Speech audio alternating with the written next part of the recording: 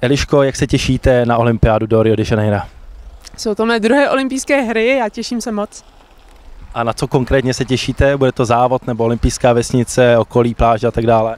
Bude to asi všechno. Bude to ta olympijská atmosféra, ten olympijský závod. Eh, vlastně nesmím říkat to slovo, co jsem teďka několikrát řekla, protože to máme jako podepsané smlouvě jedné, takže eh, těším se na Rio, na, na tu atmosféru tam, na ten závod, i na tu vesnici, na všechno. Máte zmapované své soupeřky? Eh, popravdě jsem se vůbec nekoukala na startovku, protože mě to přijde zbytečný. Myslím, že tam bude celá vlastně světová špička.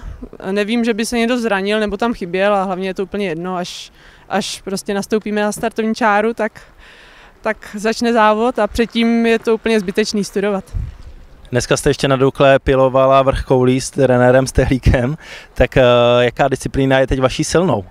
Vrchoulí? uh, no, popravdě nevím úplně přesně, jak na tom jsem, v jaké disciplíně. Byla jsem trošku zraněná, takže takové ty technické tréninky mi teďka utekly, takže koule nebyla tak špatná.